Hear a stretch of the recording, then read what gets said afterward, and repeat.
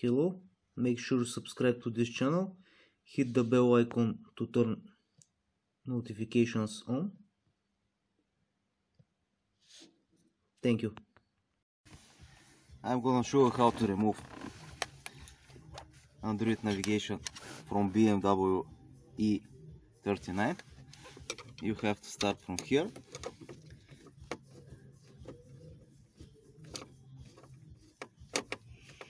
remove this screw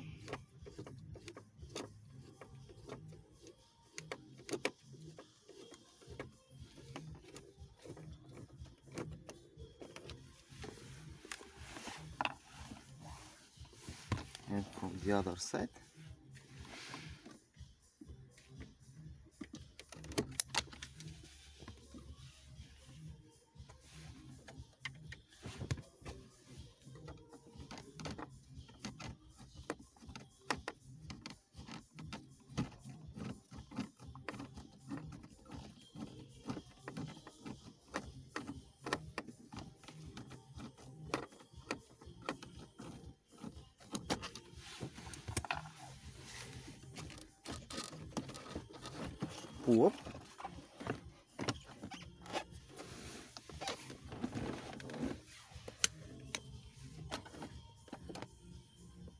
that's it